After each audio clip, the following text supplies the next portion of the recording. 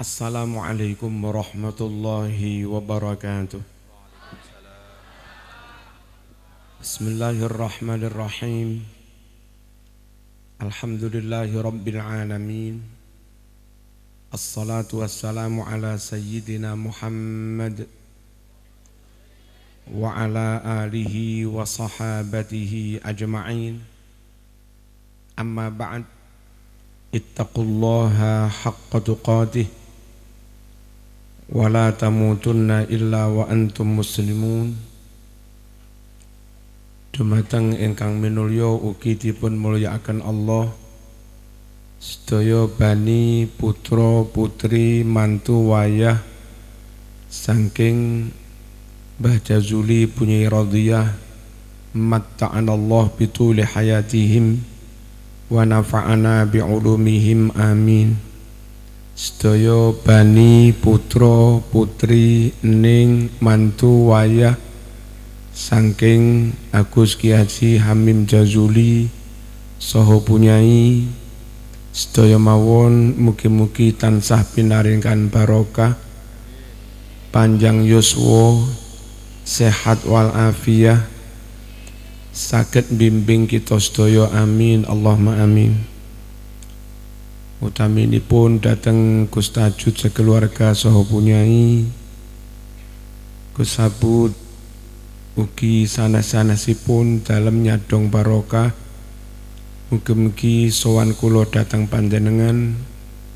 Saged katampi lan kawula kacatet termasuk tiang ingkang dipun paringaken tabarukan kalih keluarganipun Gus Gus Hamim Jazuli para muridin muridat muhibbin muhibbat qari'in qari'at hafidhin hafidhat muqri'in muqri'at muhafidhin muhafidhat sedaya jamaah mugi-mugi panjenengan pinaringan istiqomah alal iman istiqomah alal islam istiqomah ala ahli sunnah wal jamaah istiqomah dari akan masyayikh istiqomah dari akan kusmi istiqomah dari akan kustajud istiqomah dari akan cantiku istiqomah dari akan tampihul ghafilin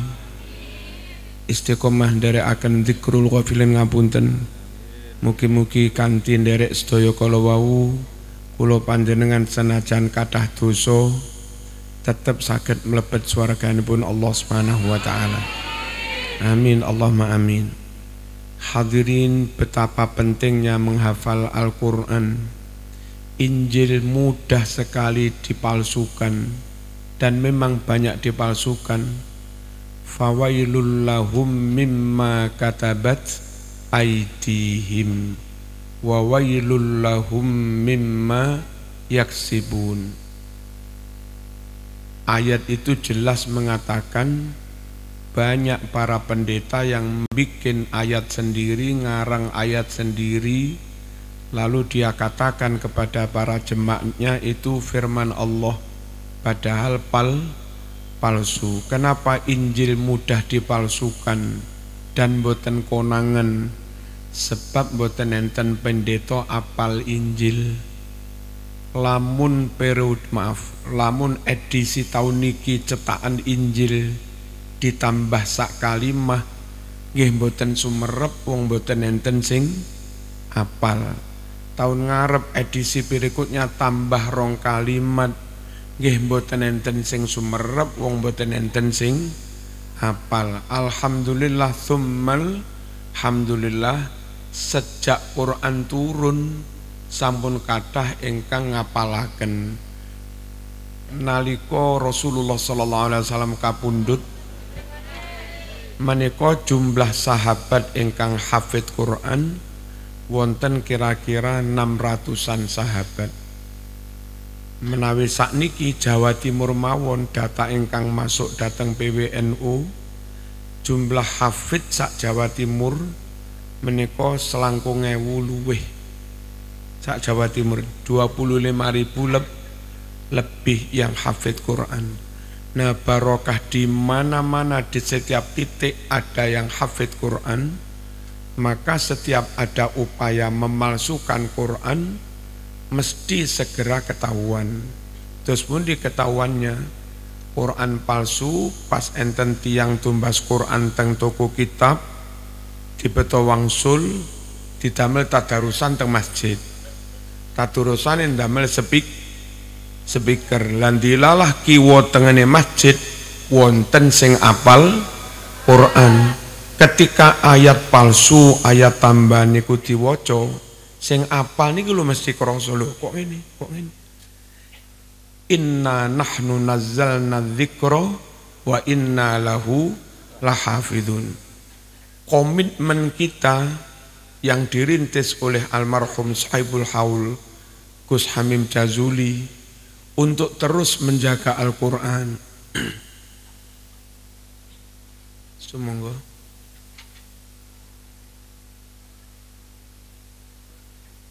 Allahumma salli ala Sayyidina Muhammad.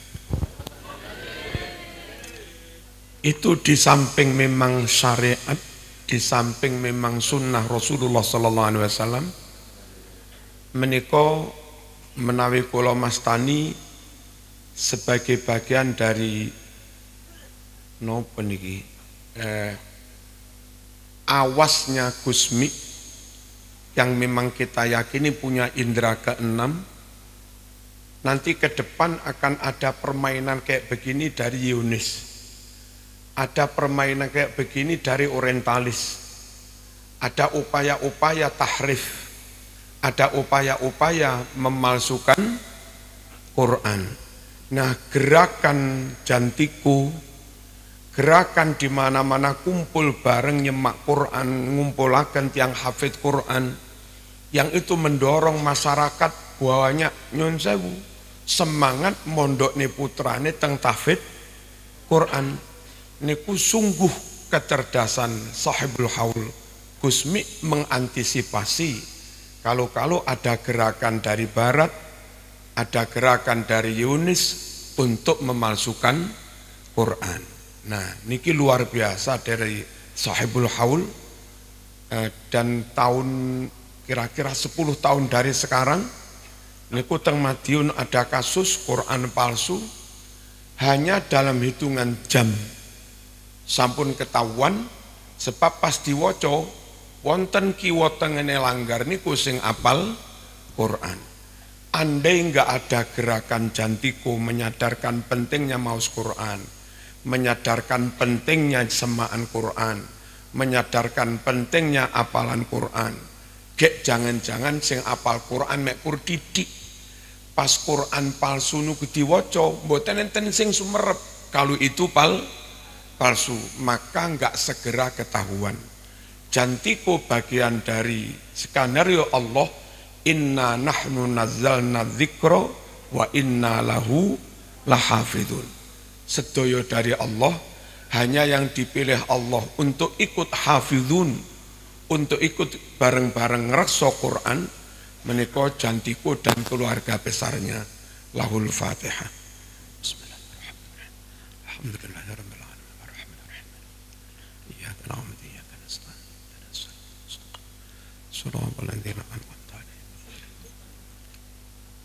Para rawuh Engkang kedah kita jagi kejawi apalan menurut satu kiroah. Menawi tempat konco-konco ingkang tahfid sampun itkon mantep sangat lancar sangat hafesipun menika menasaget dipun kembangaken ngantos kiroah sabah. Napa perlu perlu sepindah niku sedaya riwayat saking Rasulullah sallallahu alaihi wasallam yang status sanat kiro asabah itu juga mutawatir. Menawi hafes mutawatir, asim ugi mutawatir, amir ugi mutawatir, waras ugi mutawatir, kolun ugi mutawatir. Nah sami-sami mutawatir, kalau karena mutawatir kiro ahafes kedah dipun jagi, maka sama-sama mutawatir kiro ah asim ugi kedah dipun jagi sami-sami jagi warisan saking Rasul Rasulullah sallallahu alaihi wasallam. Ugi barangkali keluarga panjenengan Tulungagung Malang pas wonten jantiku kerawuan hafid saking Arab kerawuan hafid saking Maurat Mauritania Afrika mana sebagian Polun menawi Maroko sebagian waros. Nah menawi kita niku babar pisan boten ngenal yang lain-lain sumerepe namung hafiz mawon. Pas wonten qori hafid saking Saudi wonten hafid saking Yaman saking Afrika maus dengan waras sakjane boten salah tapi wong mriki boten boten ngertos akhirnya di apa? Akhirnya disalah-salah milo bagian dari menjaga Quran itu termasuk penting juga menaikkan sambun itkon mengembangkan pada kiroah kiroah sabah. Allahumma salli ala Muhammad.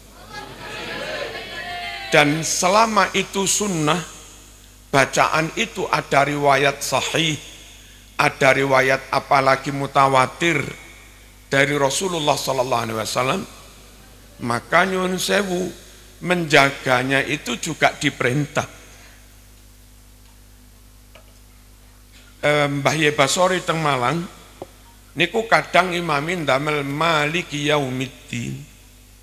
Sesekali kadang damel maliki yaumiddin. pun napa?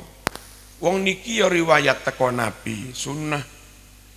Niki ya riwayat teko Nabi, sunnah menawi sing kita lakoni namung satu mawon yang lain dibuang itu seakan-akan membuang sun membuang sunnah sekali lagi penting lalu nomor tiga kalau masih mungkin boten selak ke susu simah boten selak ke susu rabi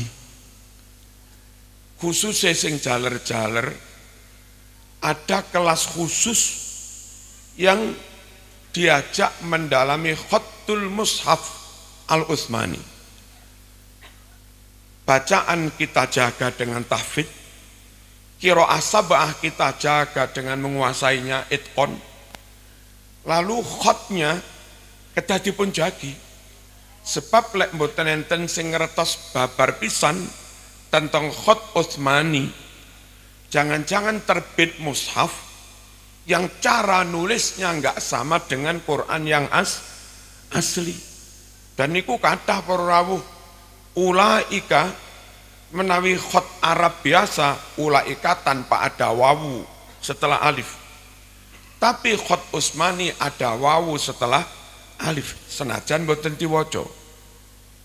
Ulul albab ulu niku aslinya enten nun. Karena idofah nun dibuang ulul albab. Harus nyalek nun dibuang menika wonten alif fariqoh. Ulu enten alif terus enten alif maneh alif al. Cuma teng tulisan mushaf kita alif fariqoh mboten ditulis.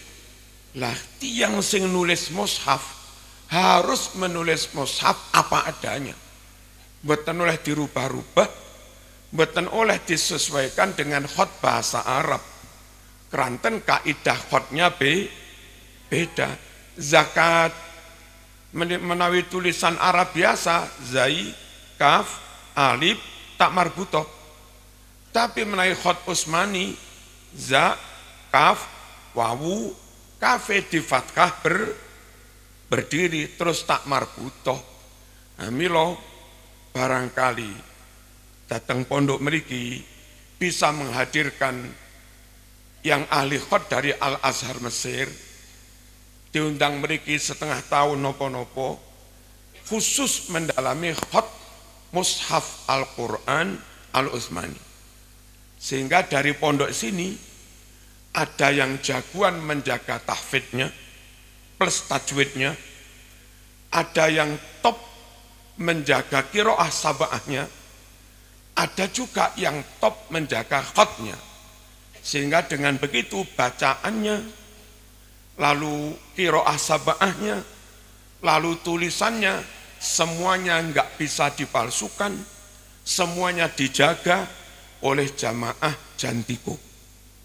Oleh muridin, muridat, muhibbin, muhibbat, saking sahibul haul Ki Haji Hamim Jazuli. Allahumma salli ala Sayyidina Muhammad. Hadirin, kami-kami yang di kampus, nyun izin, nyun istiqzan, juga kepingin ambil bagian, kepingin berandil dalam menjaga Quran dari sisi ilmiahnya. Alhamdulillah kampus Kulo UIN Malang mampu membuktikan secara ilmiah mengapa Allah perintah Siti Maryam makan rutop setelah melahirkan Isa. Wa huzzi ilaiki bijid'in nakhlati tusaqit alaiki rutaban janiyya fakuli washrobi wa qarri aina setelah melahirkan Isa tentu umumnya orang baru melahirkan mungkin pendarahan mungkin infeksi rahim mungkin infeksi dalane bayi. Keranten sakmono alite damel medal sirah sakmono gede ini. Mungkin mengalami infeksi luka. Maryam tentu bingung karena lahir tanpa kobilah melahirkan tanpa bidan. Gusti Allah dawuh wit kurma sing mok sendene kuwi lho roken. Wa ilaiki. Supaya rutope padha ceblok. Rutop rutopi kurma sing sampun nyadam nih kuwi daharen wahai Maryam. Mamen nek kuwi mau mam wa qarri aina segera bergembira maksudnya segera sem sembuh. Kampus kulo lari-lari biologi coba membuktikan itu secara laboratorium. Rutop niki sak gegem dibeto teng lab lalu di blender ngantos apa halus. Terus diberi cairan kimia kiai. Supaya zat-zatnya mengalami pemisahan fermentasi. Airnya menyendiri glukosanya mendiri zat asamnya menyendiri dari nikulu kiai dipun sumerapi secara nyata bahwa di dalam rutop itu banyak zat yang akan menjadi sel darah putih. Siti Maryam mantun melahirkan pendarahan dan luka infeksi diutus nedo rutop karena rutop banyak menghasilkan sel darah putih. Apa hubungannya dengan upaya sembuh? Dalam tubuh manusia itu, kalau sel darah putihnya berkurang, maka imunitasnya turun dan kalau kebeler nggak entang mampet-mampet, luka nggak segera sembuh. Kalau sel darah putihnya ku, kurang. Tapi kalau sel darah putihnya terpenuhi, luka segera sembuh, darah mengucur segera mampet. Nah Maryam diutus nedorutop supaya sel darah putihnya segera terpenuhi dan kalau itu terpenuhi ndang waras. Itu loh Quran luar biasa. Fakuli wasrobi wa qarri aina. Allahumma salli ala sayyidina Nomor kali tentang angka. Mungkin orang menyebut kebetulan. Tapi semuanya benar-benar program dari Allah. Quran ini diawali kalimat bismillah yang kebetulan jumlah huruf bismillah niku songolas. Kebetulan menurut kita Allah ya memang di, direncanakan sama. Terus mengapa Quran diawali bismillah yang jumlah hurufnya 19? Ternyata angka 19 itu angka kunci untuk ngecek Quran itu asli apa enggak. Kalau cocok dengan angka songolas asli, kalau nggak cocok dengan angka songolas nggak asli. Dan alhamdulillah, thumma alhamdulillah, semua angka dalam Quran mesti pas dibagi 19. Mau bukti? Berapa jumlah surat dalam Quran? Pinten? 114 surat. Ya apa enggak? 114 dibagi 19 piro? 6. Pas. Pas. Ya. Fatihah kenapa nulis Maliki enggak kate alif? Mekur Fathah apa gitu ini? Nggih. Napa tek ngoten? Para rawuh. Ternyata jumlah hurufnya 152. Nah 152 itu songolas ping wolu pas surat Yasin kenapa diawali huruf ya dan sin ternyata bareng dihitung jumlah huruf Yasin di surat Yasin 133 sama dengan 19 kali 7 pas Surat Toha kok diawali huruf tok dan hak. Mengapa? Jumlah huruf tok dan hak di surat Toha 171 sama dengan songolas ping, ping songo pas. Surat Kof diawali huruf Kof. Jumlah huruf Kofnya seket pitu sama dengan songolas ping telu pas. Lafat basmalah Allahi Ar-Rahmani Ar-Rahim. Berapa jumlah tulisan Allah dalam Quran? 2698 jumlah tulisan Allah. 2698. Angka itu sama dengan songolas ping 140 luru pas. Berapa tulisan Ar-Rahman dalam Quran? Seket pitu sama dengan songolas peng telu pas. Berapa tulisan Ar-Rahim dalam Quran? 115 rodok masalah titik. Sebab angka yang pas itu 114, 19 kali 6. Tapi jumlah lafat rohim bukan 114, 115, sisa satu. Lah kok enggak pas? tetap pas. Bagaimana pasnya? Sebab ada satu rohim, itu asma Rasul, bukan asma Allah. Di ayat mana rohim asma Rasul? Laqad ja'akum rasulum min anfusikum. Di akhiri kalimat bil mu'minina raufun rohim di sini bukan asma Allah tapi sifat Rasul Berarti lafat rohim dalam Quran sebagai asma Allah tertulis 114 kali. Sama dengan 19 kali lebih rem, kali 6. Lebih lengkapnya semua. Kenapa surat Baqarah diawali alif lam mim? Jumlah huruf alif, lam, dan mim di surat Baqarah sekian ribu, saya lupa itu juga pas dibagi 19. Mangke mbak-mbak tumbas kitab judulnya Mukjizat Al-Quran yang ditulis oleh Prof. Qurashihab. Latang meriku enten tabelipun niki jumlah sakmene jumlah sakmene semuanya pas dibagi 19. Andai Quran pernah ditambah, andai Quran hurufnya pernah dikurangi atau dirubah, nggak mungkin angkanya tetap cocok dibagi 19 dan nyatanya tetap cocok dibagi 19 itu membuktikan secara fakta Quran nggak pernah ditambah nggak pernah dikurangi. Watammat kalimatu rabbika sidqaw wa adla. La mubaddila li kalimatih wa huwas wahwas sami'ul gandolan jantiku gandolan sahibul haul komitmen gandolan Al-Quran yang Al-Quran 100% faktual 100% valid 100% akurat 100% sidqau sidqau wa adla.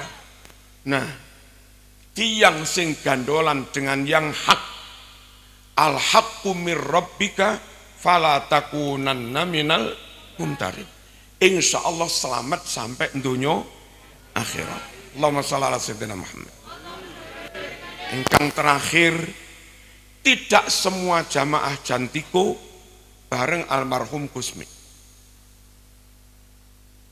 Tidak semua yang mengurusi jantiko bareng almarhum Kusmi. Bisa bareng sampai suargo. Enten syaratnya. Syaratnya tidak harus sa'alim almarhum. Syaratnya tidak harus nyun sewu. Tahajud, wirid, zikrullah, zikrul ghafilin tidak harus sehebat sahibul haul. Kita bodoh mboten napa-napa, pancen bodoh. Kita bengi ra kuat tahajud ra pancen awan garap sawah. Awan becak. Tapi ketulusan hati derek guru itu yang menjadi yang menjadi standar, yang menjadi patok, patokan yang menjadi ukuran. Nyun sewu. Soal kedekatan secara dohir, dulu Musailamah Al-Kazab secara dohir ya dekat. Mughirah bin Subah tokoh munafik dekat. Abdullah bin Ubay bin Salul secara dohir dekat. Tapi hati menikam dari belakang nyalip. Ini munafik. Balik ngaran nyalip dalam nah tikungan sakit ugi meriki meriki meriki meriki melajari oh ini ternyata caranya mengelola jantiku. Wis ngerti pun Gus Tajud ditiru piyambakin mendirikan jamaah jantiku di daerahnya. Mboten pamit meriki mboten izin mboten nopo terus diviralkan sak viral-virali dipromosikan besar-besaran, akhirnya menjadi besar dan masyarakat awam nggak tahu, ngerebut jamaah jantiko yang as, asli. Lah sing ki meskipun hafid Quran, yo raiso bareng guru. Wong mana itu pak enggak podo kok. Wong munafik niku tengeri, mung kumpul sarono dohir, tapi atine bedo tahsabuhum jami'a wa qulubuhum syatta. Disawang ketoron ya kumpul jami'a. Ning atine beda-beda ora ora padha. Mila kula menyeru dateng awak kula khususe dateng sedaya ingkang rumaos dadi murid utawi muhibbin muayyidin. Wontenipun jantiko menawi estu-estu kepingin sareng Gusmi Mbah Jazuli bunyi rodiyah ngantos pun Allah Subhanahu wa taala ampun setengah-setengah. Nyemplung-plung zahiran wa batinan. Lek saged ngoten para rawuh ngalim swarga masih bodoh ya ya swarga. Badhe kula tutup 1 2 menit wonten sarahipun kitab manakib Syekh Abdul Qadir Al Jilani. Menika wonten keterangan siljine ulama ageng niki ngipi tonggone bocah sing rodok nakal. Niki diimpeaken mlebet swarga. Nah terus kiai sing alim niki kaget, kowe kok iso mlebu swarga? Padahal kelamu, kelakuanmu kaya ngono, kok iso mlebu? Kebaikan apa yang pernah kamu lakukan? Mboten nate, tahajud, mboten. Wiritan, nggih mboten. Duha, mboten. Kok iso mlebu? Wo ngeten lho, kula niki najan betik-betik petakilan ngeten. Tapi kalih Kanjeng Syekh Abdul Qadir Al-Jilani radhiyallahu hormatku tenanan, adabku tenanan, ikram takzimku tenanan pas teng padang pasir ngarep enten jaran plok plok plok plok. Niku mesti bleduke kathah padang pasir. Bocah niki sumerep sing numpak jaran Syekh Kamtul Qadir Al Jilan mboten wani nyalip. Pilih panggah neng burina dan beleduken timbang nyalip randuwe toto kromo barokah njaga adab teng masayik niku lho. Tunduke tawaduke tenanan senajan yo rada metik-metik titik niku lho akhire mlebu swarga. Napa maneh santri? Wis swarga kabeh Allahumma shalli ala sayyidina Muhammad. Kosok wang sule ana kosok wang sule. Ana kosok wang sule nyuwun sewu. Biyen soal hebat ora kurang hebat Nabi Musa Nabi top Rasul top ulul azmi top. Fisik juga top pinter cerdas top. Diperintah Gusti Allah belajar ilmu batin. Tengene Nabi Khidir mung digawe syarat oleh ngaji ning kene mondok teng Ploso tapi aja kakean takon. Fa ini taba'tani fala tas'alni an hatta uhditalaka minhu zikra. Sampean lek mondok ning kene tenan tak jaluk aja kakean cangkem. Wis mbah yai nglakoni apa? Nggih ngono ae wis. Aman besok diperintah kene tak rabekne karo cah ganteng. Nggih ngono tok. Ora oleh ora manut. Siap? Nah, siapa ora? Mantu kula niku ploso mriki Gus Ilmi. Biyen pun Bayi Munib. Tindak teng kula mboten kathah matur kalih mingsanane Pak Abdullah. Sepindah silaturahim nomor kalih niki lho pengen dipek mantu ke Marzuki. Putra kula kebetulan dokter. Lajeng eh, napa Tolapipun teng pundi? Teng Peloso. Pun boten kula takoni cek ganteng, cek ora, cek sugih, cek ora kata takon. Pokok ana pelosone nggih ngono tok.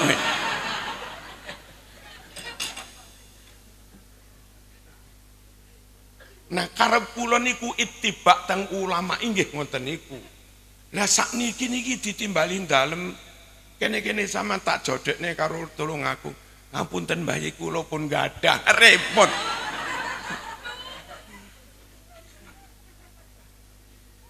Manuten niki kurang. Nambian Nabi Musa Nabi Khidir mateni cah bayi diprotes akotal tanaf sang zakiyatan bi ghairi nafs. Iki piye bocah ra duwe dosa kok dipateni? Janjimu piye Mak? Rata kono mlaku maneh tembok arep roboh dijak dijak njandani tembok fawajada jidara yuridu ayang qadda faaqamah enggak diopahi enggak opo. Terus usul mbok nggih nrimo opah takon maneh. Terus dijak berlayar malih ketemu perahu apik dirusak. Protes maneh pola akhrok tahal itu gerito ahla. Golek kerem piye? Takon maneh. Wis kon murid kakean takon lek ngene caramu hadza firaqu baini wa baini. Kon ditokne teko jantiku. Hmm. wong kakean kakean takon manuteku kurang jadi sing penting manut senajan pinter. Siap.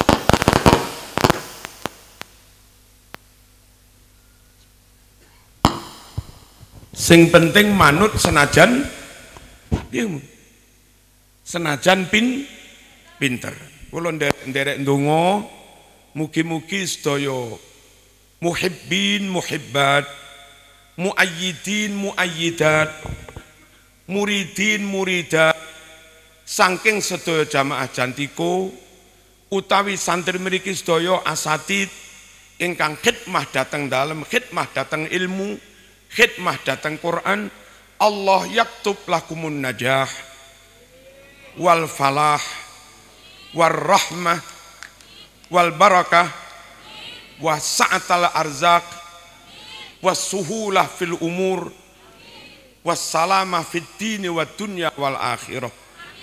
Wassalamu warahmatullahi wabarakatuh